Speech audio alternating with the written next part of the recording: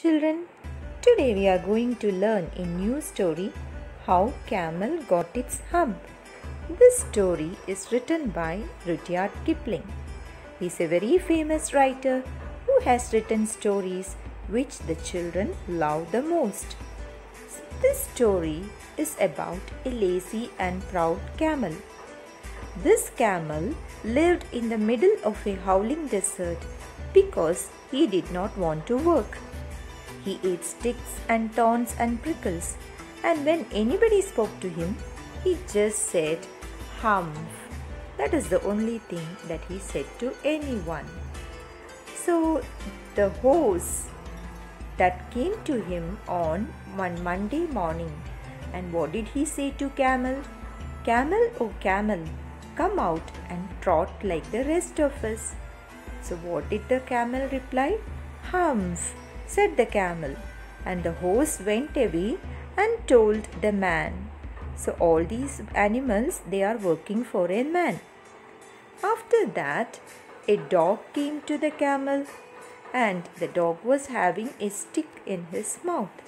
And what did the dog say to the camel? Camel, oh camel, come and fetch and carry like the rest of us. What must have the camel replied? Humph, that's it. Then afterwards, the ox came to him, and the ox, what was it carrying on his neck? A yoke.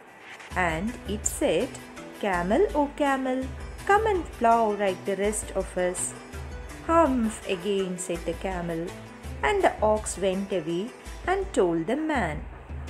At the end of the day, the man called the horse and the dog and the ox together and said, Three, oh three, I am very sorry for you, but that humph thing in the desert can't work, or he would have been here by now. So what am I going to do? I am going to leave him alone, and you must work double time to make up for it. Will anyone like to do double time for someone else? No. That made the three very angry and they held a panchayat on the edge of the desert. And the camel there came. He was chewing the cud. What do you mean by cud? Have you heard about any cud chewing animals? Yes, we have the cows, buffaloes. So, what do they do when they see the grass and uh, the food? They eat it very fast, very fast, very fast and afterwards what will they do? They will just bring out the food that they had swallowed and they they will chew that chew that and digest it later. Okay so when there is food they will eat it.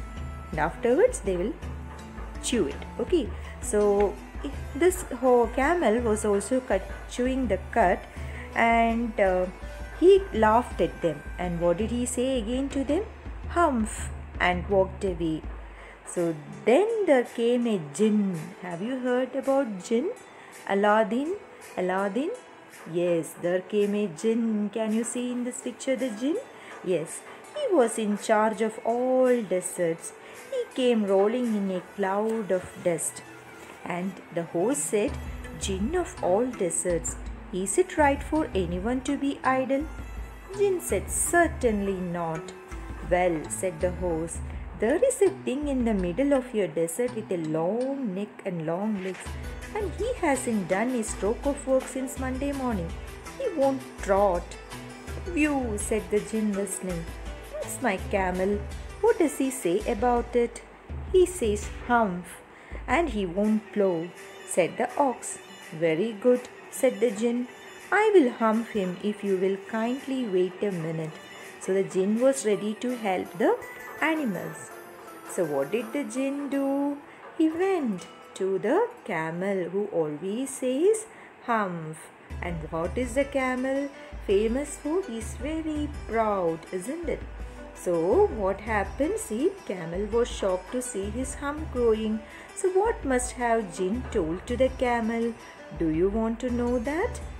Do you want to know that? Yes. For that, you must see what is the jinn say? So, what does the man say to the camel? That is your own very hump that you have brought upon your own very self by not working. So it is because of you not working that you got the hump. So what happened between the jinn and the camel? Do you want to know that? I had asked you to read this story earlier. Those who haven't read it, if you want to know the full story, please read it because supplementary reader is for developing your reading habit. Now you had known something that happened between something had happened between the jinn and the camel. What happened? Find it out by yourself. Okay, children? Thank you.